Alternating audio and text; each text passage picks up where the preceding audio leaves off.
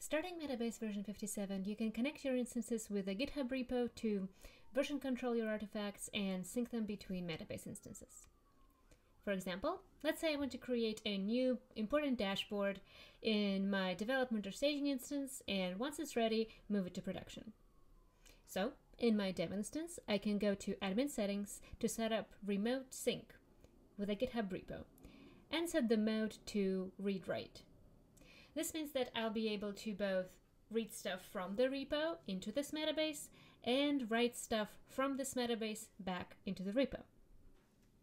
This will give me a synced collection. Everything in this collection will be synced to the repo and I can both uh, pull and push changes directly through this collection.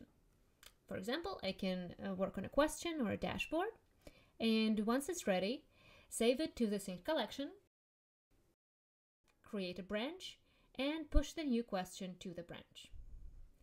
Then I can go through whatever workflow my team has, like maybe uh, open a PR from their branch, have someone approve it, and merge it to main. And anytime I make changes to the content of the sync collection in my development instance, I can push the changes to the repo.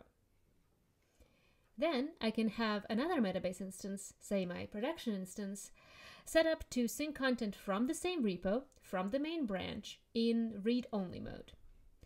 This also gives me a sync collection in this instance as well, and the question that I merged to main shows up here. But in this instance, the sync is read-only, which means I can't edit this question from the production instance, and the only way to make changes to the question is by going through version control. Check out the docs link below for a detailed step-by-step -step walkthrough of remote sync, as well as some best practices and limitations.